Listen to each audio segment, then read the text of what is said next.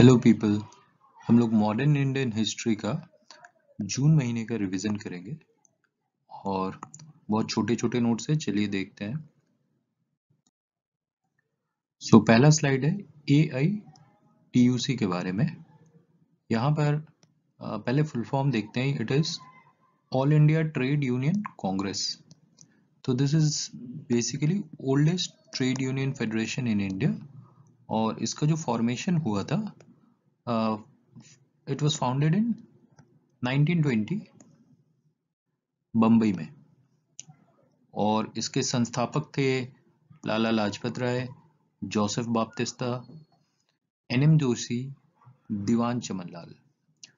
1945 के बाद it has been associated with Communist Party of India और देखने वाली बात है कि it is also founder member of World Federation of Trade Union next slide पे चलते हैं।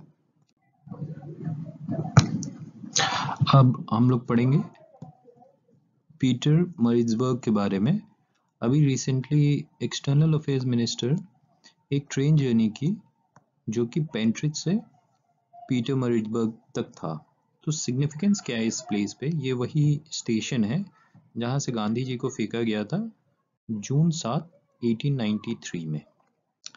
और बेसिकली वहाँ पर एक वाइट आदमी था, जो कि उन्हें हटने के लिए बोल रहा था, बाद में उन्हें फेंक दिया गया था। तो आउटकम क्या हुआ? आउटकम ये रहा कि इससे वो सत्याग्रह प्रिंसिपल्स डेवलप कर पाए। नेक्स्ट स्लाइड की तरफ़ पढ़ते हैं। बंकिम चंद्र चैटर्जी या चाटोपाध्याय उन्होंने वंदे मातरम लिखा है और उनका लिखा हुआ नॉवेल आनंद मत, सन्यासी विद्रोह, जो सन्यासी रिबेलियन हम लोग ने पढ़ा है, उसके ऊपर है। फ़र्स्ट बंगाली फिक्शन लिखने का श्रेय भी बंकिम चंद्र चैटर्जी को जाता है, जिन्होंने दुर्गेश नौंदिनी लिखा था 1865 में।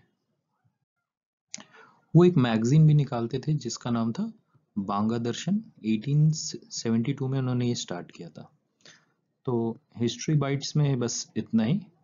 I hope you like the lesson और thank you so much bye